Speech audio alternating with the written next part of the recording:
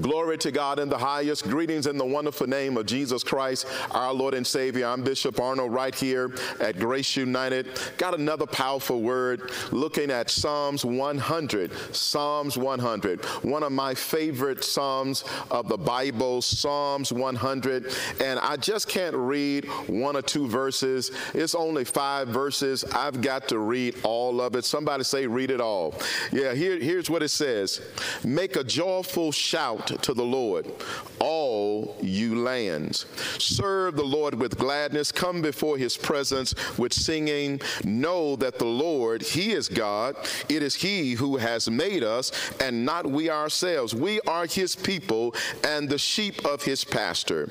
Enter into his gates with thanksgiving and into his courts with praise. Be thankful unto him and bless his name. For the Lord is good. His mercy is everlasting and his truth endures to all generation. Wow. I tell you what, when I read these five verses here in Psalms 100, all I can think about is having the right attitude. Having the right attitude. That's what jumps out. There's so many things, but on today, I just want to talk about having a good attitude. Yeah, yeah. The psalmist here is telling us, uh, you know, when you when, when you start shouting joyfully to the Lord, serving Him with gladness, coming before His presence with singing, that lets me know that it's talking about attitude, having the right attitude. And there's an old saying that, that, that people have said for years your, your altitude will be determined by your attitude.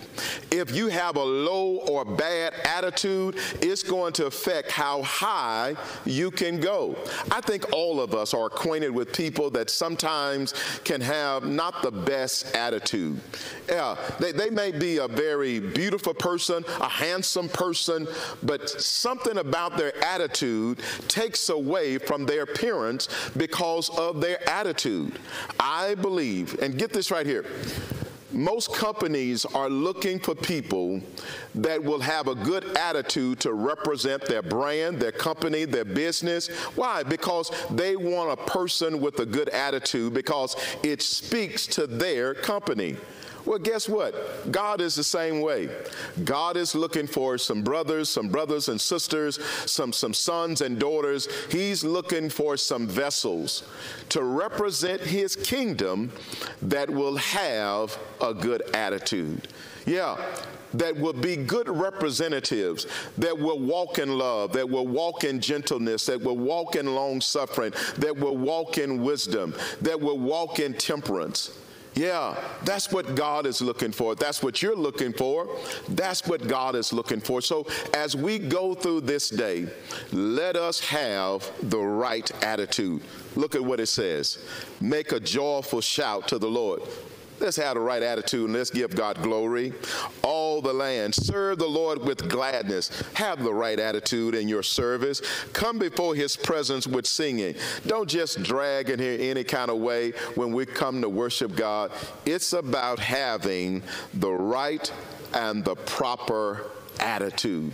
So as we go through this day, ask the Lord before you leave the house check my attitude. Give me a blessed and a gracious attitude as we go through this day. Amen. Let's pray. God, we thank you, Lord, for your word. Your word is a lamp unto our feet and a light unto our path. I pray, God, today for all of us, God, as believers, as sons and daughters of the Most High, that you would bless us to have the right attitude, even when we're dealing with people that may not have the best attitude. In Jesus' name, amen. God bless you. God keep you. That's my prayer.